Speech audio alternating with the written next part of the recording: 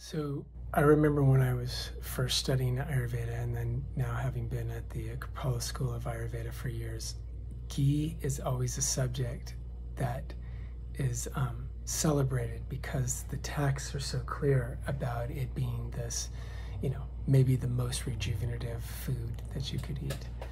And the answer about whether it's right for you is always that it depends on your your current uh, you know capacity to digest it and your constitution, etc. So it's a little better for folks that are more influenced by vata and pitta in their constitution, but nonetheless, it, it has this kind of um, has this special category that's given to it. And I'm such a science nerd that at some level I understood, and at another level I didn't understand until now which is to say that in just recently, like in the last year and a half, they've identified a new essential fatty acid. That's the first essential fatty acid identified in 90 years. So all the omega 3 and 6s were identified in 90 years ago. And this new one is called pentadecanoic acid. And it is deemed essential because we don't make it, we have to acquire it from food. And um, and it is something too that is actually produced in very small amounts, primarily in dairy products. And so it's a saturated fat. So it's different than the omegas, very different. It's an odd chain saturated fat with 15 carbons. And um, I've seen comparisons of its influences on our body's physiology compared to some of the main longevity, um, you know, medications out there like rapamycin or metformin, and it, it actually surpasses everything that is seen as a longevity promoting um, you know, substance because it has such a broad, pervasive influence. And so now, when you combine this with the fact that over the last, really since the 70s, so it's been more than 50 years, that there's been a sort of an awareness that too much saturated fat can really lead to certain kinds of problems. And a lot of that research was skewed because of some corruption of the Harvard studies that made um, fat look like the villain back in the 50s and 60s, when in fact those the the sugar industry was was uh, bribing the, the the scientists to make those those conclusions. You can look that up. It's a very big uh, you know accusation, but you can look it up. It's true. And so anyway, they the as people have started to eat less dairy, especially full fat dairy, and more less foods that have a lot of saturated fat, there's been one problem with that, which is that people are getting less of this essential fatty acid. And they even have a name for a syndrome that comes up when you're missing that or it's at low levels. It's called cellular fragility syndrome. And that's because the the pentadecanoic acid literally plays a role in strengthening your cell membranes. And all the long lived animals, think humans, elephants, certain birds, and reptiles, will have saturated fats as a key part of their cell membranes because it makes the cell membrane more impervious to oxidation and breakdown and attack and injury. Um, and so, so it turns out that it looks like the pentadecanoic acid plays a role in literally strengthening your cells from, from a structural standpoint, but it also plays a role in regulating very, very important uh, immune functions and the infl- inflammatory processes that are regulated by the immune system, regulating blood sugar, lung health, heart health, and one of them is my my personal favorite is to impact uh, an enzyme that helps to remove zombie cells, and so a zombie cell is a cell that actually accumulates in the body where it's no longer serving a function, but the body hasn't eliminated it.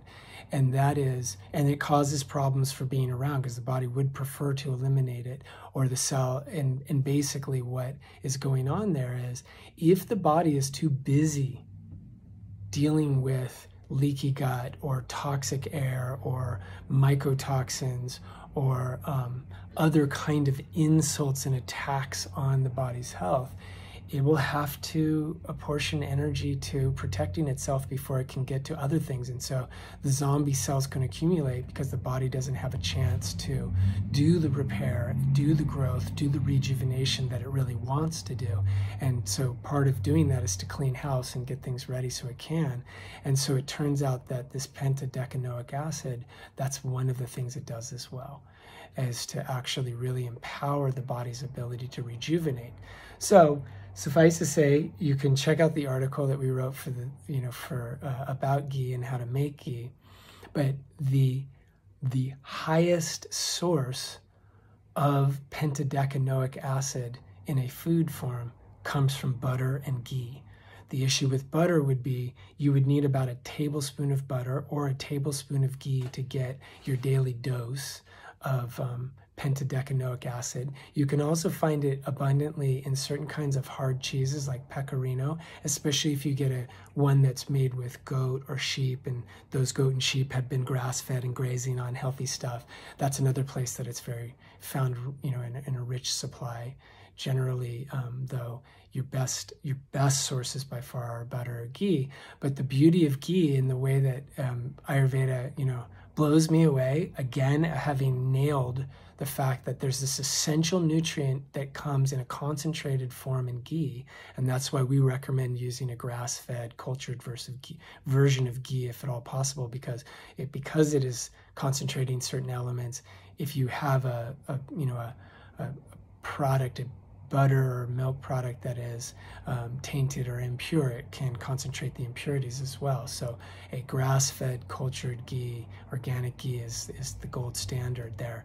Um, and you take about a tablespoon of that a day, that's the sweet spot. That's where you're going to be getting just the right amount to um, supply you with about 100 milligrams. There's one, there's one supplement out in the market called Fatty 15, F-A-T-T-Y 1 5, which is a reference to being a fatty acid and it has 15 carbons, so fatty15.com. And they're giving their dosage per day is, is 100 uh, milligrams. So if somebody had issues with lipids, you could take the supplement, or if it's just easier for you and you have the, the income, you can you could you could pay more and get it in that form.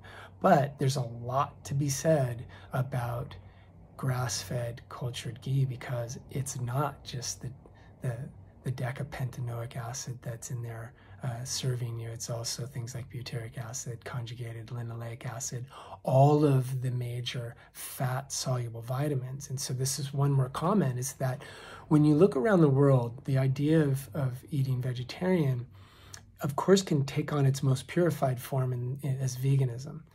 But what you find around the world is there's not very many vegan cultures. There's places like South India, which is a perfect example because they do consume ghee and they worship cows and they honor them, is that they have an almost pure vegetarian diet, but they include yogurt and ghee. And the benefit of that, the, the main things that are missing in a vegan diet are going to be fat soluble vitamins. And so that's A, D, E, K. And then you get some other things like vitamin B12 and the essential fatty acids, the other essential fatty acids like omega 3, and um, that are not abundantly present in that diet in a way that can be assimilated to give you ample for what you need. Um, that so they're so looking at that their their their only non-veg foods sometimes are ghee and fresh milk and and yogurt and that actually could be enough to supply some of these really essential nutrients that come in a fat soluble form.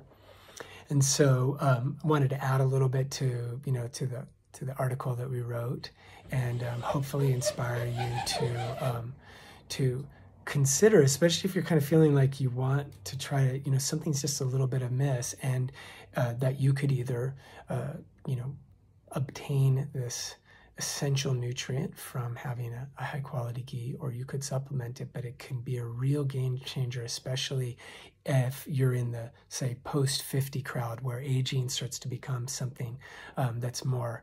Uh, more real, and I'm I'm in that crowd now, so I'm starting to think more about these things. But I love this kind of science because when Ayurveda is sort of proven in such a beautiful way, where the texts are are celebrating this thing, and you're wondering why are these why are they so hung up on ghee? But because they knew, because they knew that it was providing this this beautiful, beautiful, um, digestible method of nourishing ourselves. So, for what that's worth, um, hope you are nourished and loved, and um, and that you benefited from this.